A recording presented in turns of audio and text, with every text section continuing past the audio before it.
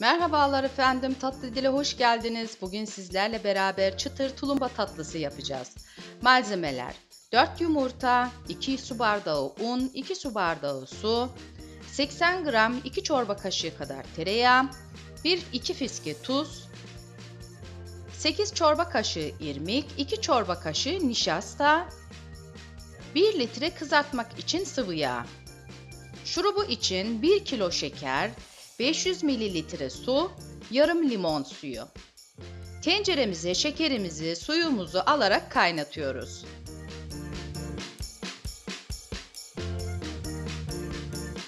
Kaynamaya başlayınca kısık ateşte 15-20 dakika kadar kaynatıyoruz. İndirmemize 5 dakika kala limonumuzu sıkıyoruz ve ocağımızdan alarak soğumaya bırakıyoruz. Yağımızı, suyumuzu ve tuzumuzu alarak kaynatıyoruz.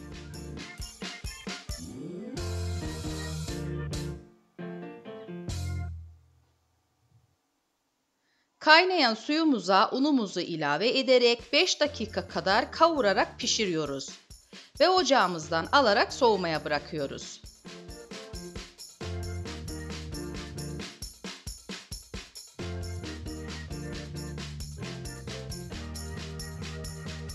Soğumuş olan hamurumuzu makinemize alıyoruz. Nişastamızı ve irmiğimizi de ilave ediyoruz. Yavaş yavaş yumurtalarımızı da ilave ederek yoğuruyoruz.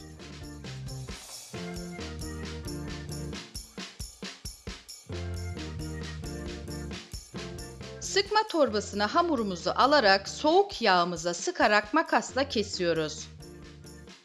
Ocağımıza alarak kızartmaya başlıyoruz. Ara ara karıştırarak kızartıyoruz. Bu arada soğumuş olan şurubumuzun kıvamı bu şekilde olması gerekiyor.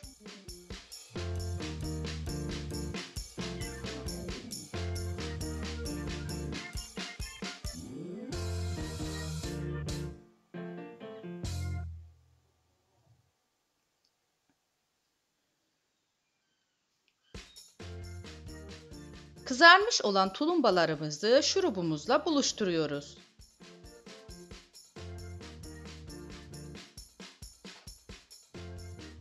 Ve yağımızı da soğumaya alıyoruz.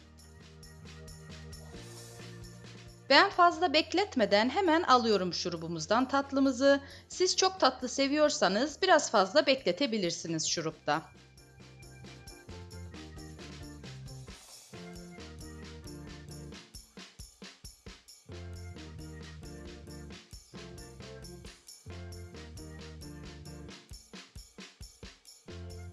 Soğumuş olan yağımıza tulumbalarımızı tekrar sıkıyoruz ve kızartıyoruz.